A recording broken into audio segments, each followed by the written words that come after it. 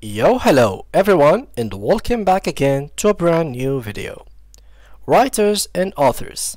This tutorial we are enhancing the collaboration and backup capabilities of Scrivener. Join me for a guide on connecting Scrivener to Dropbox in 2024. Let's make sure your writing projects are securely stored and easily shareable. So let's get started. So before we start with this video, make sure to watch it from now till the end so you have the full information. So guys, the first thing is to obviously head up to here, Scrivener, and we have to get our account, and basically we have to get our account ready to go. So here there is two options for you actually. So the first option is to buy uh, or to download the uh, app. So we have to download the app. So let's go here, Windows, and now the app is basically being downloading in our PC. Now we will have a free trial so we can show you exactly how we can actually connect this application with Dropbox. So here we go after you install it we simply have to download it on our PC as you can see right here and now we simply have to wait a little bit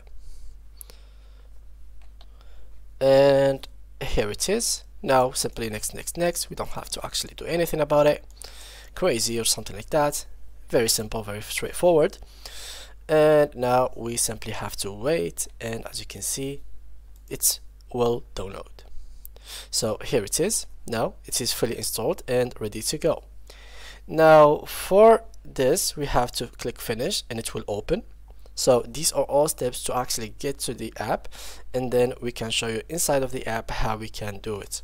So guys, as you can see, here it is. So video tutorials, here there is some getting started, but for us we're just gonna go with blank page. So let's create a blank page. Create, um, let me just go to the desktop. Um, yeah, let's put it here. Let's create this file for it and yeah, let's just name it whatever open and save it right here. Now let's just create and here we have this file. So here basically Scrivener is an app where you can basically type stuff and write stuff. So as you can see right here it's basically an app that will help you do these kind of things. Well in case you are interested in connecting it with Dropbox and saving what you are writing here inside of Dropbox well there is some kind of um, not really directly way. So there is no actually uh, directly uh, click here and it will be uploaded directly but there is something that's manually. So what you have to do is obviously create an account on Dropbox. So here we go. Dropbox.com we have to remove all of that. And let me just remove that also. Here it is dropbox.com and as you can see guys here we have to create basically an account. After you create your account you can simply click right here and upload a file. Simply head up to where you have put the file for me in music here. And basically this is the file. So these are all the files that you need. Basically for the script itself you simply have to choose it and here it is so this is the file and it cannot be previewed without the application. So people have to actually download it. So it can be right here.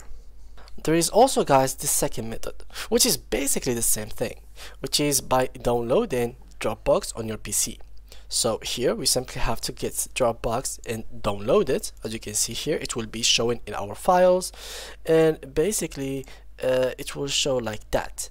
So what you have to do to setting up your Dropbox synchronization is basically go ahead in the Scrivener for iOS make sure for example uh, you are viewing the project list and that you do not have a project open.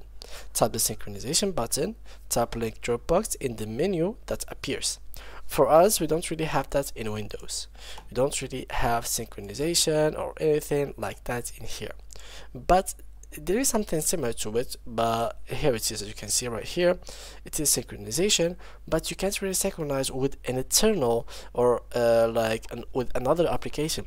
You can either with another folder or another device.